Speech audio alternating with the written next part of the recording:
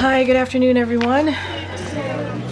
So I, am just gonna be super, super quick. Um, but here's the kicker. This is the part that really like fucked me up because I'm looking at this and I'm saying like, damn, y'all giving 26 billion to Israel, 60 billion to Ukraine, 8 billion to Taiwan. But at the same time, they are going to be banning TikTok, which is uh, actually enabling a lot of people who otherwise wouldn't have any kind of finances to finally find some sort of income.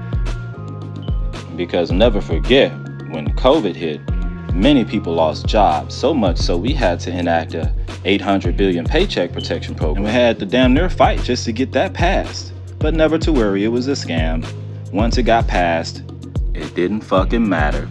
Because as you'll see, they didn't even have a system intact to even get the money to the most needy Americans. 80% of that money went to the stockholders and the small business owners. And what did they do? They kept that motherfucking money. What you think?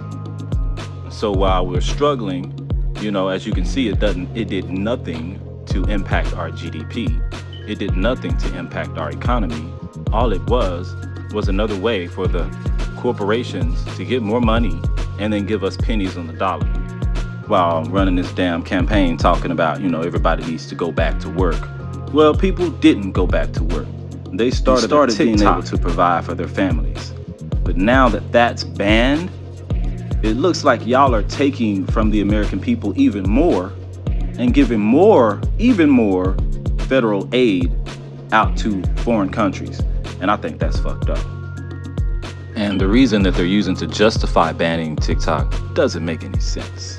But hey, feel free to tell me what you think below uh, in the comments section. I don't give a damn, but feel free.